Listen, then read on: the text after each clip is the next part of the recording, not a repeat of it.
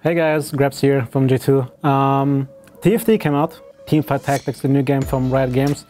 And funnily enough, I'm the one who should talk about this. Um, there were some memes on Twitter, of course, of me playing it 24-7. Um, now officially out, um, definitely worth checking it out. It's a lot of fun. Um, in this team right now, it's me, Mikyx, Wunder, Jankos playing.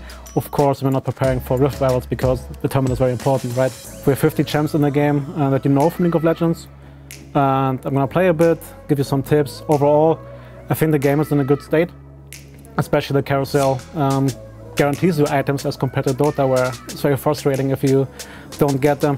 We have the long queue times like in PBE, because apparently everybody in North America wants to play it. Um, um, so yeah, in the early game, uh, I just got Warwick and Nidalee, which is a wild synergy, means both get attack speed.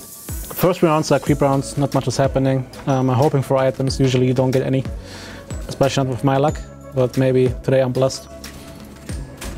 Um, I got Varus in the carousel, you didn't see it I think, but um, basically you just want to have, like I go for Recurve Bow or for um, Tear in the carousel, just because these two items build into better ones, um, Rage Blade or um, Redemption are pretty good in this game. Here, um, the game gives me nobles, so Garen and Vayne. Um, it's fine holding them, and just see later on what I'm gonna build into. So either I'm going wild now, because I'll get have two of those, or if the game gives me Garen and maybe Darius, I can go for Knights afterwards. Vayne is an option for Hyper Carry later on, especially with the needlessly large rod. I can build Rage Blade with Recurve Bow, which is good for her, so that's something I can already look into. I got two Warwicks now here, that means it will combine to a level 2 Warwick. I also got Ahri now, which means the game really wants me to go wild. This is the first round I play against another, another player. Um, the first rounds are creep rounds, now I play against Annie Nadir. He has Noble Synergy, which makes Fiora more tanky and regain health while attacking. And if you win a round, you get one gold. Economy is really important in this game, so I hope I win this.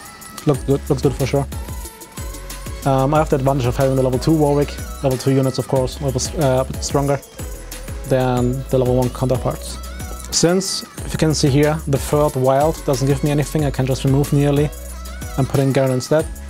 I uh, want to pick up the second Kassadin.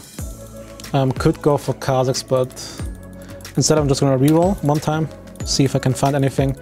Another Warwick could be good for later. Rerolling again wouldn't give me anything because I don't have mana to, uh, gold to spend. I'm looking for Nidalee's another Kassadin uh, the next round, basically. So yeah, this game, I'm not using the um, Wunder threat because there's a chance that he's gonna hit me if I do. He said it's very secret, so I'm gonna play a bit differently than usual. Just so he doesn't get mad at me. Um, what I like about Teamfight Tactics is it's a bit faster than um, other auto battlers. Um, you get more damage, that means the games usually end way faster. Um, the carousel kind of takes a bit out of the, the normal gameplay, but I like it because it guarantees an item, which then you can use to build stronger items in return and snowball that way. I actually forgot what I have. I have Wild Red, so I'm gonna get Ahri here. Um, so I like it more than... Oh, they took Ahri. Unlucky. Then, um, and the other Wild as well. Rengar. Um, I like it more than the other other chests right now, but of course there are also some balancing issues which is normal for a new game. So TFT came out today uh, in all regions basically. Um, you can play it now on a normal client. Um, I think you should for sure give it a try, um, especially, especially if you didn't play any auto battlers before. And I think it's a lot of fun, especially after solo queue, when you might be able to tilt it from your teammates. Um, here you can only blame yourself, so it's worth to give it a shot.